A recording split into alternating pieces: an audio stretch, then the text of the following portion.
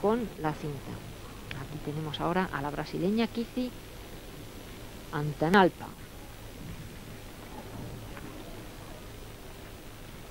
Antualpa.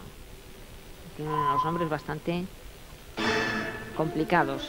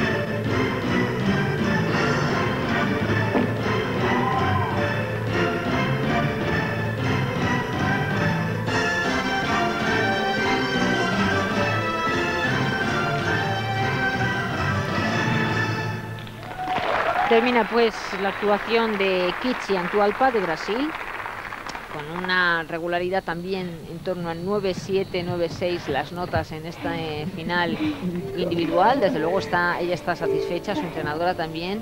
Brasil que en la categoría de conjuntos, en la categoría individual no suele resaltar demasiado, sí suele presentar unos conjuntos eh, bastante vistosos. Nunca para meterse dentro de los 10 mejores, pero suele traer unos conjuntos con una gimnasia rítmica muy divertida, con unos movimientos y un ritmo tremendos, algo que en otros deportes no, en otros conjuntos no encontramos. Vemos aquí las evoluciones, la mejor clasificación la obtuvo con la cuerda en el concurso 1 y aquí la ha obtenido también con la